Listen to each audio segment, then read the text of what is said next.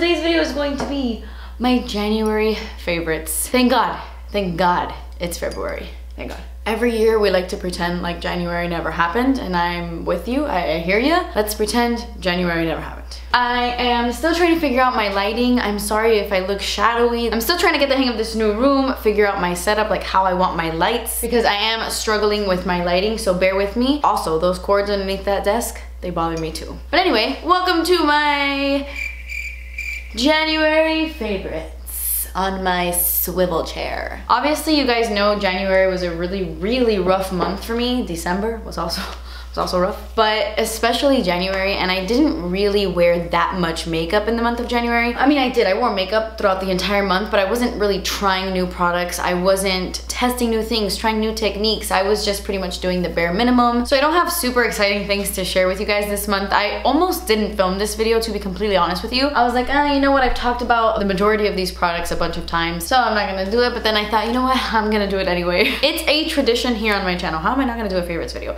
Even if I talk about about three things. I, I gotta tell you my favorites. Some of these are kind of new, but most of these are oldies but goodies. I need a new chair. Just kidding, I love this chair. I love it. Look at this color. Look at this color with that little yellow, this little teal. I love it. Oh my god, I want to do this all day. By the way, this isn't going to be my only setup. This isn't going to be my only background. Once I get my new mirror installed, like here at my vanity, I'll be filming with this desk behind me on my cat chat's couch. I am gonna switch it up a bit, but I'm still not 100% done with this room. That's why. Anyway, so my first favorite. I have been wearing the Anastasia Amrezy palette every single day since I got it in the mail. And that's mainly because I packed away all of my eyeshadow palettes when I was reorganizing this room. The only palette I kept out was my So Jaded palette. Everything else was tucked away in a box. And so when I got this in the mail, I was like, ooh, that's fun, I wanna play with that. And I have been using it ever since. And mine is a little, Mine is a little damaged. The shade Gorgina, Leo, and Reezy, they kind of died on me, which is such a bummer because I really, really love those shades. It's actually making me want to go on Sephora and buy this palette because I really want those three eyeshadows. But besides that, this palette is really, really nice. At first, when I saw it online, I was like, oh, that looks really pretty, but I wasn't like, wow, blown away. It wasn't until I got it in person and I was swatching all of these shades and really feeling the textures and the different finishes. It's then when I realized that this palette is pretty unique. Like, I'm sure I have a bunch of these shades in other palettes, no doubt, but the story that they tell when they're all together in this palette is just so beautiful. I love how they pair with one another. I truly love every shade in this palette. I think it's absolutely stunning.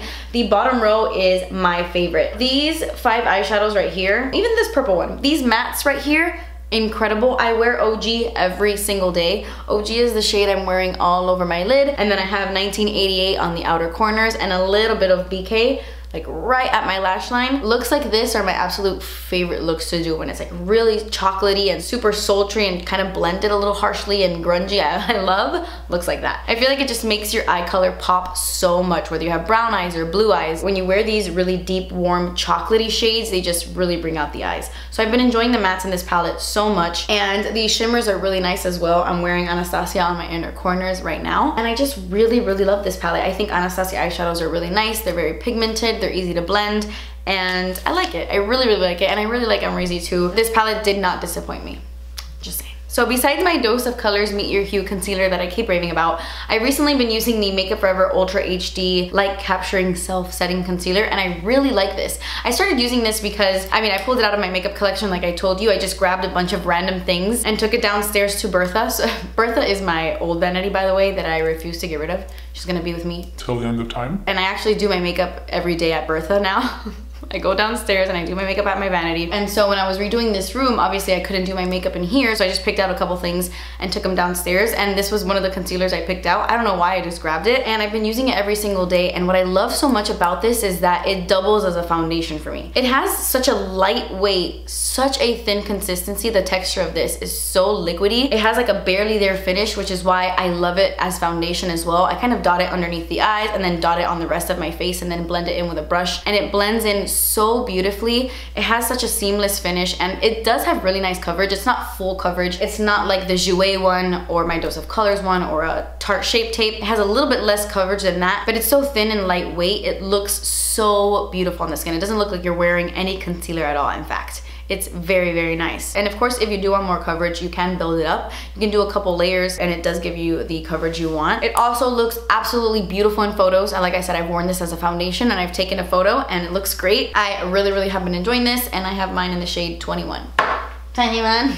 this is another one of those Makeup Forever concealer situations. I've had this blush in my collection for a long time now, but I pulled it out. I've been keeping it at Bertha and I've been using it every single day and I love this blush so much. This is the Physicians Formula Butter Blush in the, in the shade Vintage Rouge. I feel like I've spoken about this in a favorites video months and months and months ago when it first came out, but I just started using it again and I fell in love with it all over again. This is such a beautiful shade. I can't even describe what this color is because it is rosy, but it has a little bit of peachiness in there as well. I don't know if you can tell. It's like a pinky orange and that peachiness really shines through when it's on your face. Like when you start to blend this out on the cheeks, it has like that sunshiny undertone. I'm really bad at describing things. I don't know how I have a YouTube channel but it almost looks sun-kissed on the cheeks. Like it has that pinky rosy shade, but there's something about it that looks so warm and yummy. And I just, I love how this looks on the cheeks. I love the formula. The texture is awesome. And it feels very, very creamy. I freaking love it. It's matte, but not really. And it doesn't look matte on the skin at all. It has a very soft glow, but it's not a sheen. It's like a matte glow. I don't know. You get me. It's good. The only thing I don't like about these blushes are the packaging. It's like very thick and bulky, but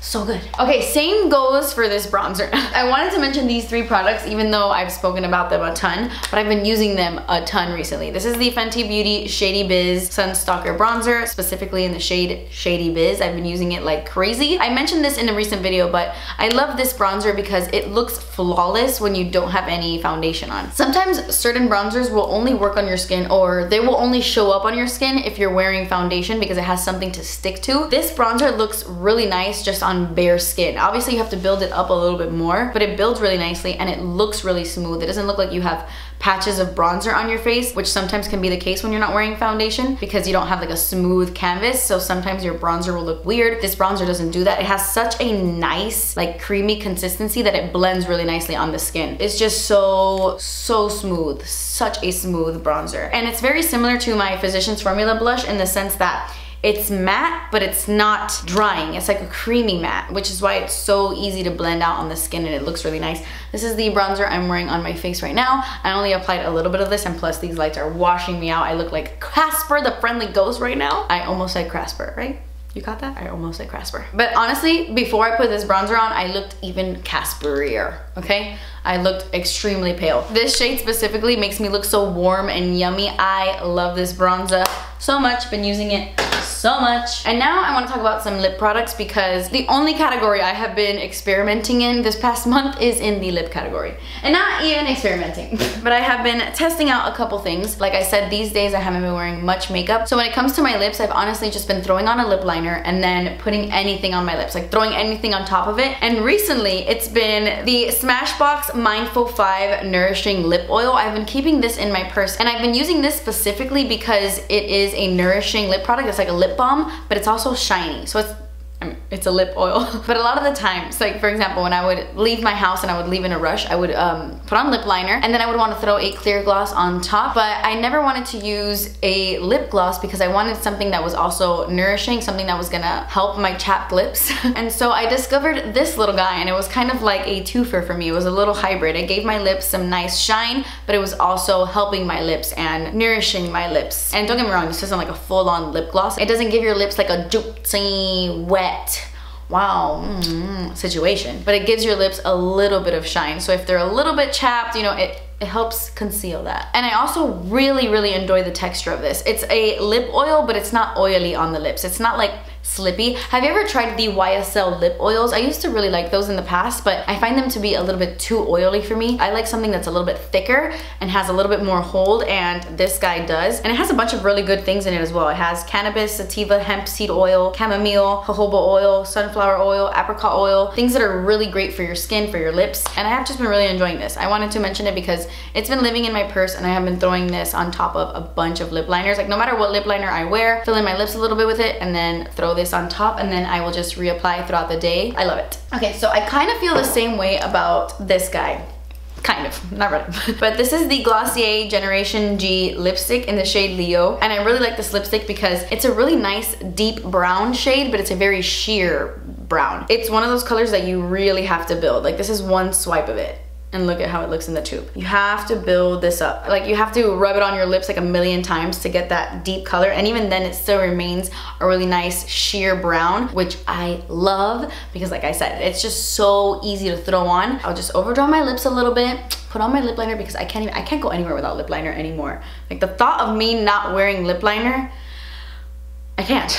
I cannot, I can't. But I'll throw on a little bit of lip liner and then I'll just like pat this all over my lips and it looks like I have a little something, but it looks so natural. Like it looks like my lips are naturally that color. And so I really, really like the finish of this lipstick. It's super comfortable. It wears really nicely. I do have to reapply throughout the day, but it fades really beautifully because it is so sheer. It's just a really nice texture. The formula is awesome. The only thing I don't like is the scent. Oh my God, this stinks. I hate the scent. In fact, I hate it. I don't know why I would picture Glossier to have a lipstick that smells like a flower desert garden, like a like a desert storm or something, but what the hell is a desert storm? I don't know. But that smells like chemicals, like really strong chemicals to me. And I don't know if it's because, like, honestly, I don't even know. I don't know what I was gonna say, but I don't know what it is, but I don't, I don't like the scent. It lingers a little bit as I'm applying it, but then it goes away, so I really don't mind, but I just wanted to mention that in case you are scent sensitive like me. Okay, so this lip color is an honorable mention. It's actually the lipstick, the lipstick I'm wearing on my lips right now. I was wearing this lipstick in what video? It was a recent video. I was on my on my couch. What was my recent cat chats? All right, it was my um, I needed some time video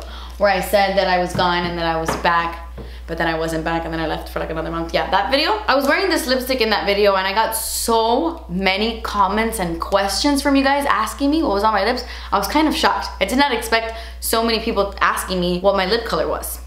And it was this. And I'm not gonna lie, at first I was like, oh, damn it. Because that's expensive. It's a Pat McGrath lipstick. So this for sure is over $35. I wanna say it's like a $38 lipstick, which is crazy, I know. And I didn't think I was gonna love it so much because it has like straight up glitter in this lipstick. But it reminds me so much of a lipstick I loved in high school. I used to wear uh, MAC Fresh Moroccan all the time. And that is like a terracotta red lipstick with a bunch of gold glitter in it. And I wore it all the time. Encanta la vida, sin problema, all the time. And then when I got this in the mail, I'm not sure if I bought this or if Pat McGrath sent it to me. I'm pretty sure she sent it to me, but when I got it in the mail and I was looking at it, it reminded me so much of like a modern, less crazy, fresh Moroccan. And I just fell in love with it. I started wearing it so much. I've been wearing this for a couple months now and I just wanted to share with you guys. And my favorite way to apply this is actually like really lightly. I just like gently tap this on my lips. I'll put a lip liner on and then gently tap this on my lips and the gold sparkle just shines through so nicely. It kind of makes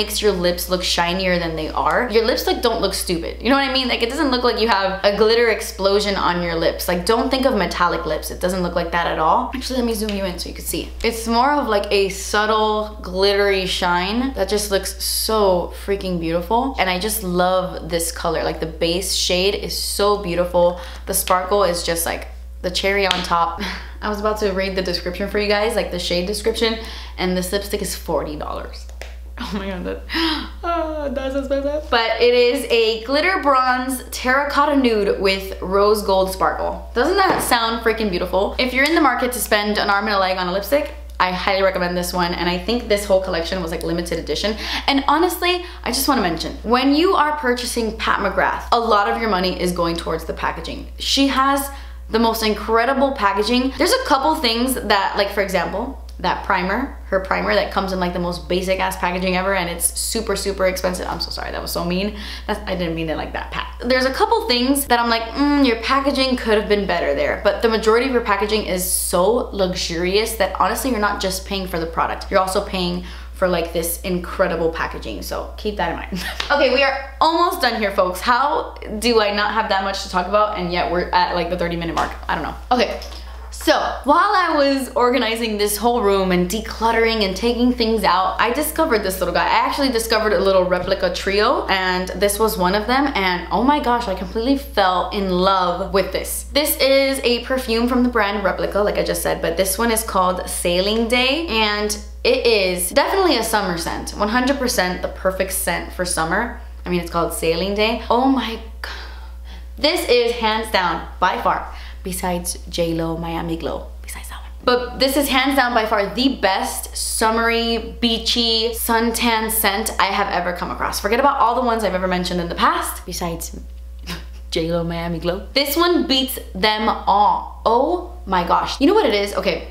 Sometimes those beachy scents like Estee Lauder Goddess, um, Beach from, which brand? Be Bobbi Brown Beach. You know what I'm talking about. Scents like that, usually they're not very sweet. This has like a little hint of sweetness. I don't know what it is. It has like that beachy, delicious suntan essence, but there's a little bit of sweet in there that just, oh my God, it just smells so good and it works so well with my body chemistry. I really, really love it. And I love to pair this with other scents, believe it or not. This one specifically in Sailing Day just meshes really well with other scents in my collection. And I usually do not mix scents. It's like a big no-no for me unless I'm like wearing Jo Malone or something. But I have been mixing this in with a couple other sweet scents in my collection and I love I love it. I love how they smell together. So I just wanted to mention Sailing Day because even though it's not the summertime, I can't stop wearing it. Okay, my next favorite is a hand sanitizer.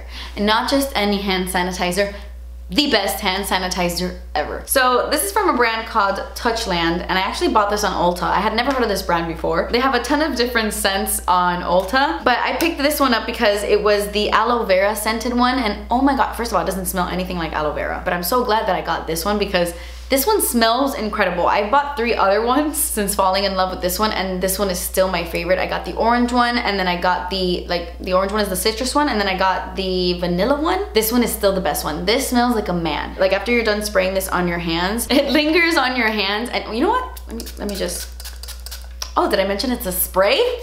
That's literally my favorite thing about it. Oh, it smells so good. It smells like a sexy man. And it honestly lingers on your hands. Like when you're done, oh my God. I do smell the aloe vera a little bit. It smells so freaking good and I love that it's a spray. Honestly, that's my, my favorite thing about it. Obviously, these days more than ever, I feel like I am really trying not to get sick. I recently had a cold. I'm, just, I'm not trying to get sick, so I've been spraying my hands with hand sanitizer like every single day, especially going to the hospital so much. So I had discovered this and completely fell in love with it. The scent is great. I mean, it, it, does what it's supposed to. I know it's a random thing to mention in my favorites video, but if you're ever shopping on Ulta, I highly recommend you get these. They're First of all, they're so cute. They're sprays and they smell good. And last but not least, I have to mention February's Xio box. I know that we just got into February and I actually don't even have the box with me to share with you guys. I'm, I'm gonna go pick it up tomorrow. but this month is butterfly themed. If you are into butterflies as much as I am, check out the new Xio bag this month. It's gonna blow you away, it's amazing. I'm actually wearing um, a Xio necklace right now. It's her new butterfly necklace. I mentioned another butterfly necklace in a recent favorites video, but she just got these and I honestly think this one is my favorite. It has like the little butterfly here and the little butterfly here. It's adorable and I just love it. I just had to mention it. I wanted to mainly show you this necklace, but it reminded me that this month Xio has a butterfly box. So if you wanna check it out and save some money at Xio, you definitely can. But that completes this video, guys. These were all the products I was loving in the month of Feb January. January? Look at me already pretending like January wasn't a thing. But anyway, guys, that's it. Don't forget to let me know what your favorite product was this month, this past month, and if I haven't checked it out before, maybe I will. I'm getting rusty at these outros, but that completes this video, guys. I love you so, so, so much. Thank you guys so much for watching. Please subscribe if you haven't already, and I will see you in my next video. Bye. Oh, I feel like I was just talking so fast right there. Like, I was talking too much and too fast. More coffee then? but they have... My dog farted. But they have a ton of different scents. oh my god. Porter está podrido, mi hermano. Trying to get it out of my nostrils.